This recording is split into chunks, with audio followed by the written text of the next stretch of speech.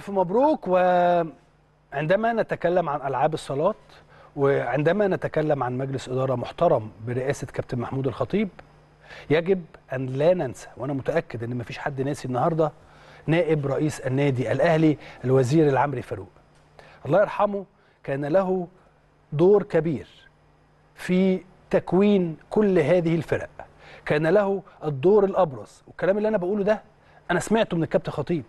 أنا سمعته من كل أعضاء مجلس إدارة النادي الأهلي الحقيقة وهم بيتكلموا على آه الله يرحمه نائب رئيس النادي الأهلي الوزير العمري فاروق.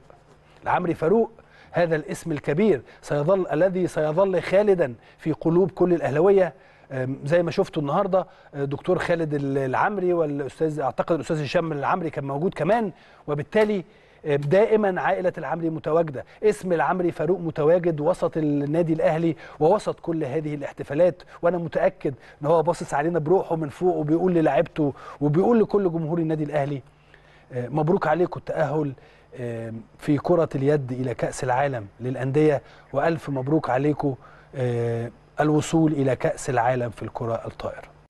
يظل دائما اسم العمري فاروق خالدا في قلوب كل الأهلاوية.